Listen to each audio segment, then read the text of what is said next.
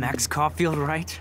You're one of the Jefferson's photo groupies. Great, I'm there one he of his students. I know you like to take pictures, especially when you're hiding out in the bathrooms. You best tell me what you told the principal now. Ooh, is that my problem? Oh, you know what? I told him the truth. I told him the truth. A student had a gun. No, you told him I had a gun. That's why he dragged me into his office. Nobody, nobody lectures me. Everyone tries, though. they try. oh God, he's unhinged. You should talk to somebody, Nathan. Do not analyze me. I pay people for that. Worry about yourself, Max Caulfield. I'm not really worried at all. Take a step back, Nathan Prescott. Oh man, you're telling me what to do? Get away from her, dude. Oh no, not Warren! Hey, leave him alone. Nobody tells me what to do. Not my parents, not the principal, Stop that! or that whole bathroom. Max? You again.